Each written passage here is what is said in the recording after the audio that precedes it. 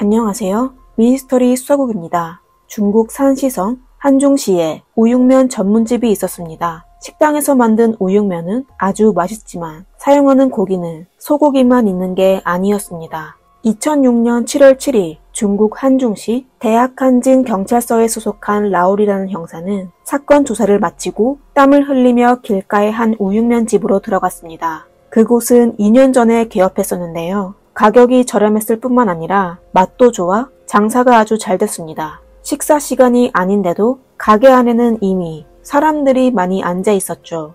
라우리가 주문하기도 전에 누군가 국수에 사람 손톱이 있다며 고함을 질렀습니다. 그 사람의 말을 들은 가게 사장은 바로 주방에서 뛰쳐나왔습니다. 그는 손톱을 바라보며 잠깐 머뭇거리다가 바로 아 어제 저희 직원이 고기를 썰다가 오른손 엄지손가락을 잘못 썰었는데 급하게 병원에 보내느라 손톱에 고기가 섞여진 걸 못 봤네요. 정말 죄송합니다. 한 그릇 다시 해드릴게요. 라고 했습니다. 국수에서 손톱이 나온 손님은 사장이 바로 사과하기도 했고 또 평상시에도 위생적이었으니까 더 이상 문제를 제기하지 않았습니다.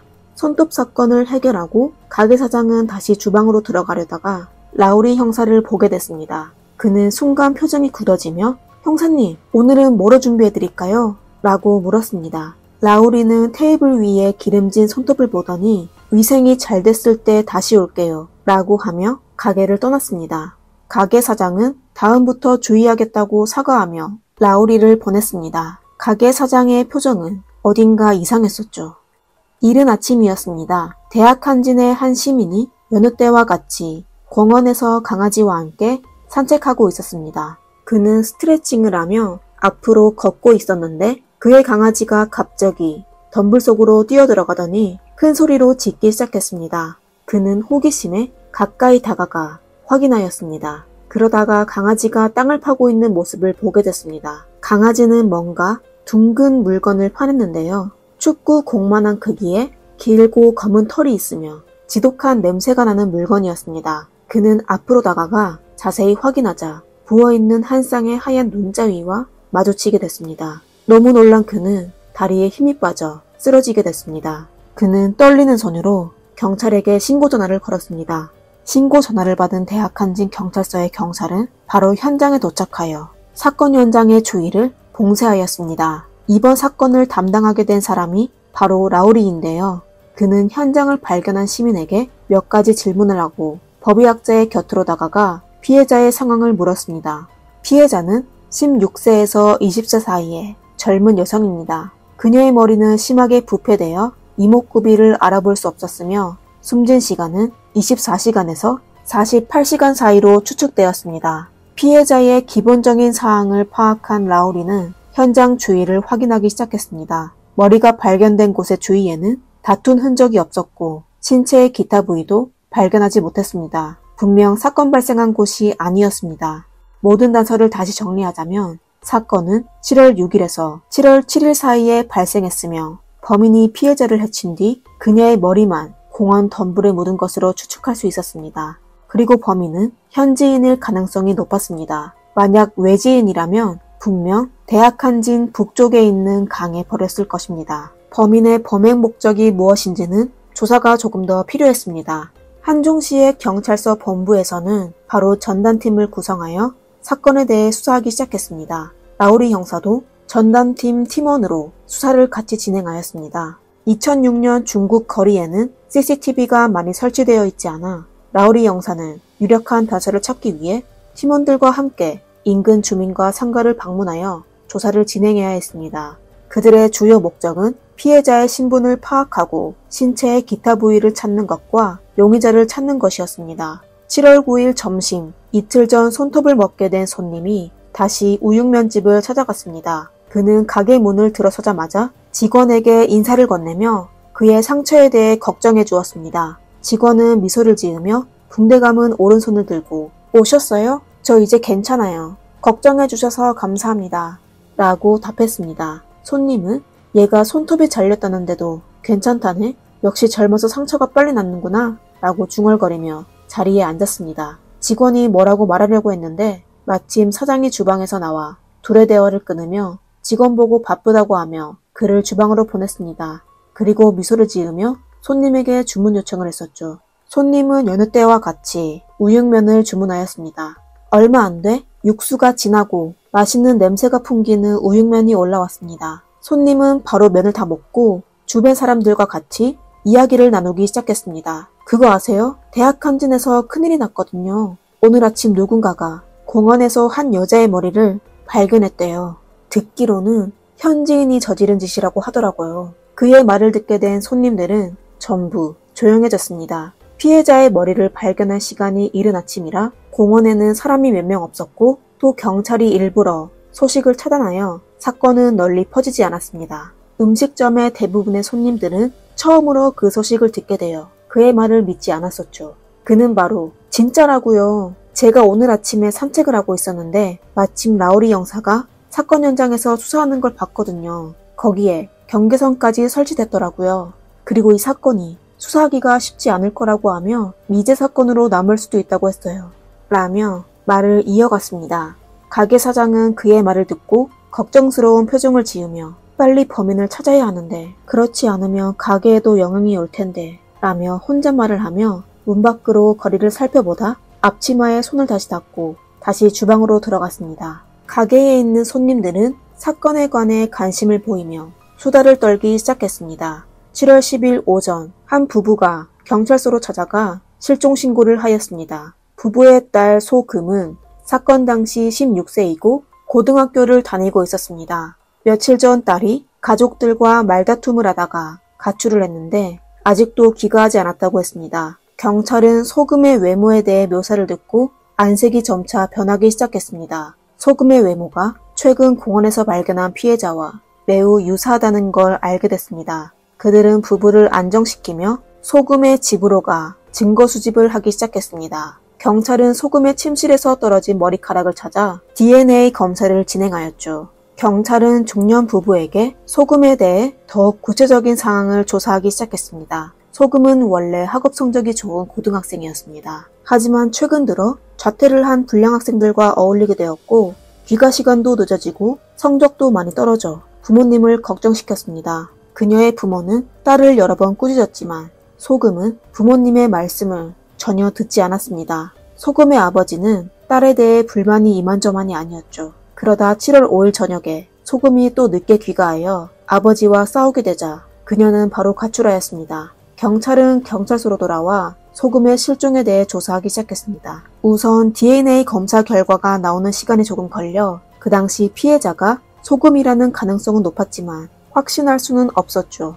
또 만약 소금이 진짜 피해자라면 범인은 아마 이미 오래전에 도피했을 가능성이 높았습니다. 10일 오후 형사들은 소금이 갈 수 있는 곳을 다니며 그녀를 찾기 시작했습니다. 그리고 소금과 같이 어울린 성인 남성도 조사하였지만 유력한 단서를 찾지 못했습니다. 경찰의 수사가 중단되자 실종 인구 조사팀에서 하나의 단서를 전해왔습니다. 7월 6일 10대 중반의 소녀가 우육면 가게에서 하루 동안 아르바이트를 했는데 소금의 외모와 매우 흡사했습니다. 단서를 확보한 라우리가 샤오치 형사와 함께 바로 우육면 가게로 갔습니다. 그들이 가게에 도착하자 또 전에 손톱을 발견한 손님을 만나게 됐습니다. 그는 라우리 형사를 보자 반갑게 인사하며 사건에 관해 묻기 시작했습니다. 그들의 대화를 듣게 된 사장은 주방에 있다 바로 밖으로 나왔습니다. 그는 바로 형사들에게 자리를 건네며 무엇을 주문하겠냐고 물었습니다. 그러자 라우리는 본인은 밥을 먹으러 온 게 아니고 사건을 조사하러 온 것이라고 말했습니다. 그는 가게 사장에게 7월 6일에 한 소녀가 가게에서 일한 적이 있냐고 물었습니다. 그의 말을 들은 사장은 표정이 일그러지며 있긴 한데 첫날부터 그릇을 몇 개나 깨뜨리고 하루 만에 일당을 받고 다시 돌아오지 않았어요. 라고 했습니다. 이때 사장의 아내도 남편의 말에 동의하며 본인이 직접 그녀에게 월급을 지급하고 그녀가 가게를 떠나는 것까지 직접 보았다고 말했습니다. 부부의 반응은 거짓말을 하는 것 같지 않았습니다. 라우리는 소금의 사진을 꺼내며 사장 부부에게 그 알바생이 맞냐고 물었는데 부부는 모르는 사람이라고 했습니다. 그럼 소금의 실종은 가게 사장과 아무런 상관이 없는 걸까요? 라오리는 아주 의아해하며 샤오치와 함께 가게를 떠났습니다. 우육면 집에서 알바한 사람이 소금이 아니라면 소금은 어디에 갔을까요?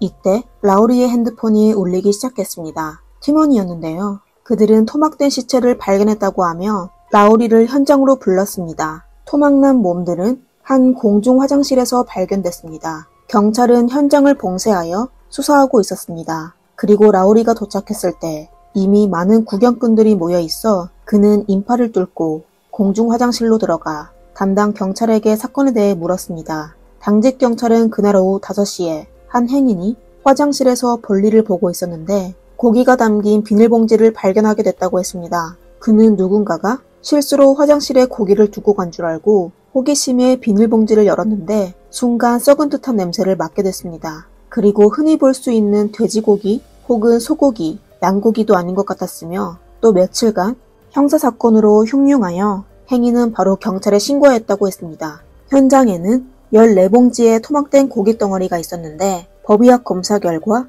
전부 인체 조직으로 확인됐습니다. 그리고 인체 조직은 한 번 냉동된 적이 있어 당분간 정확한 숨진 시간을 확인할 수 없었습니다. 상황 설명을 들은 라우리는 인상을 찌푸리며 머릿속으로 사건을 정리하기 시작했습니다.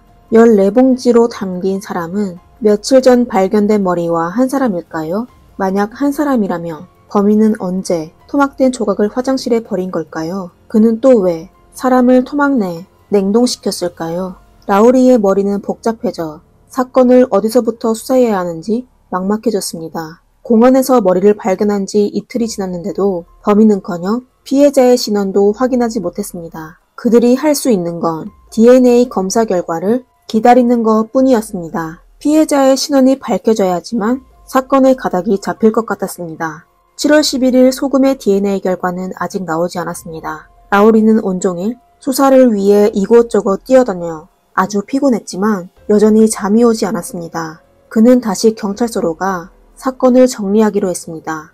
경찰서에 도착한 그는 술에 취한 몇 명의 청소년들이 소란을 피우는 걸 목격했습니다. 그는 무시하고 사무실로 들어가려고 했는데 낯이 익은 한 소녀를 보게 됐습니다. 그녀를 보는 순간 본인이 사건 조사에 큰 실수를 했다는 걸 깨닫게 되었습니다. 눈앞의 소녀가 바로 소금이었습니다. 경찰은 바로 그녀의 부모에게 연락하여 경찰서로 오게 했습니다. 소금이 부모와 다시 만나는 장면을 보고 라우리도 크게 감동받았습니다. 소금이 살아있는 건 정말 다행이었죠.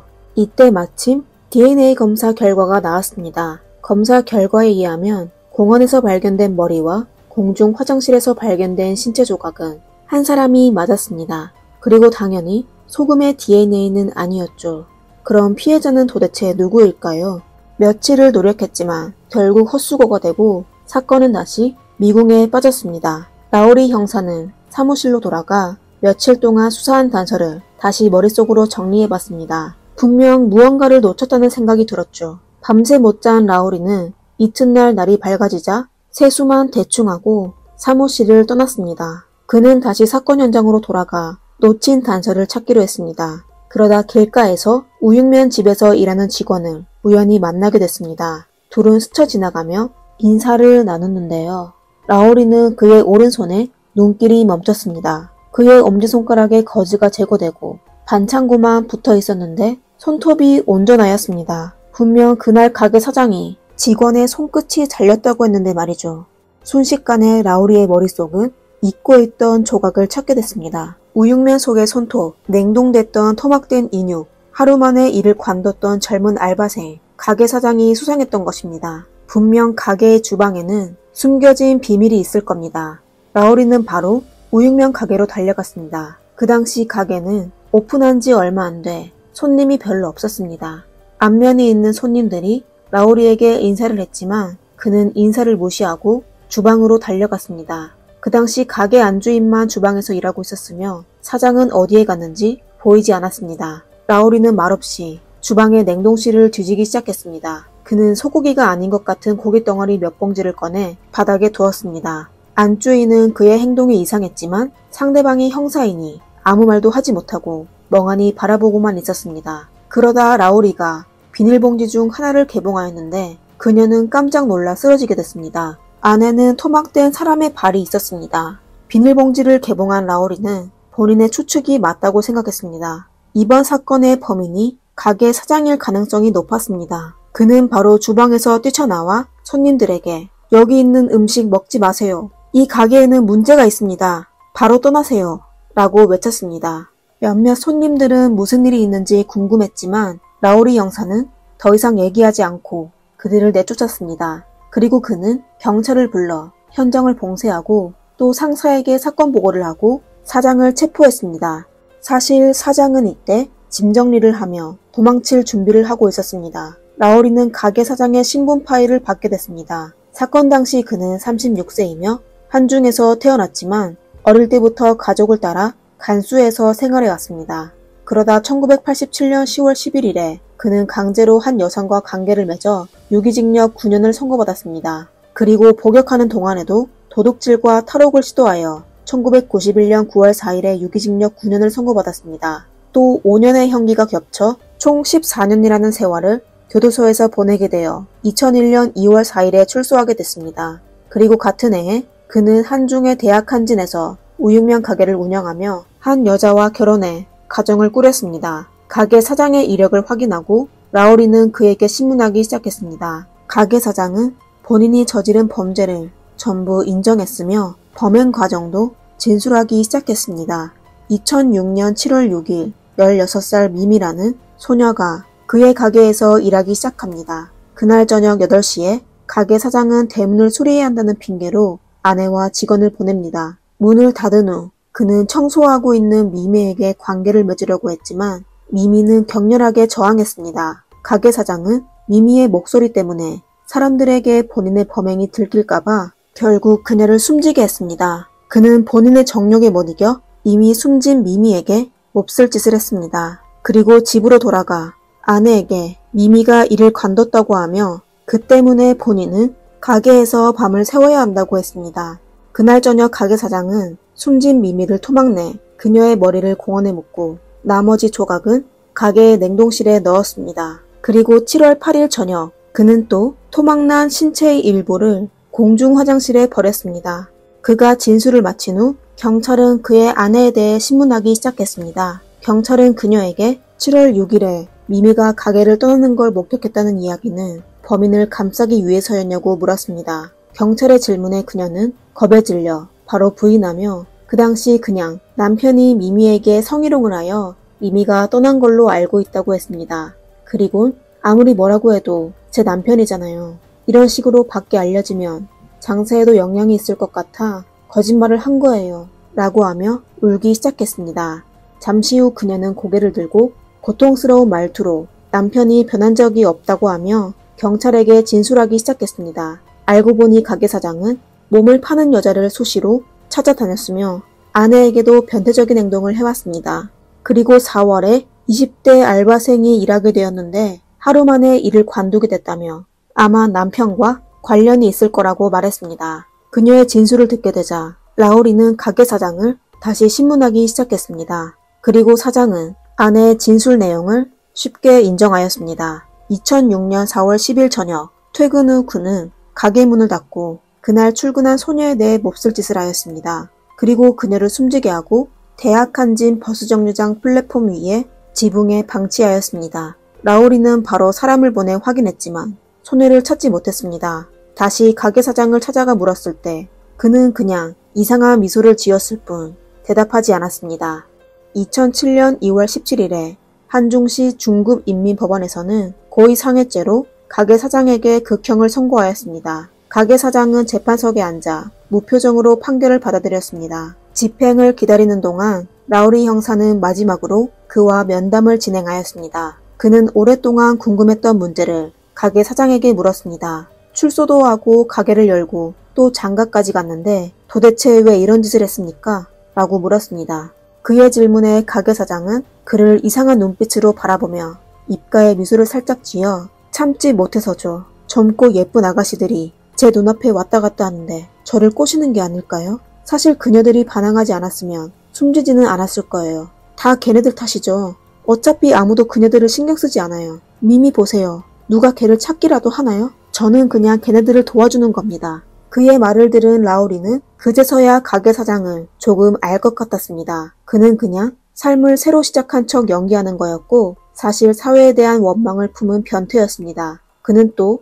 본인을 구세주로 여기고 모든 책임을 남에게 넘겼습니다. 가게 사장은 본인이 다른 사람을 고통 속에서 벗어나게 하는 거라고 스스로에게 세뇌하며 사회에 대한 원망을 나약한 여자들에게 풀며 또 본인의 정욕을 만족시키기 위해 결국 되돌릴 수 없는 길을 가게 됐습니다. 오늘의 영상은 여기까지입니다. 여러분은 가게 사장에 대해 어떻게 생각하시나요? 댓글로 남겨주세요. 재미있게 보셨다면 좋아요와 구독 부탁드리겠습니다. 미스터리 수화국입니다. 감사합니다.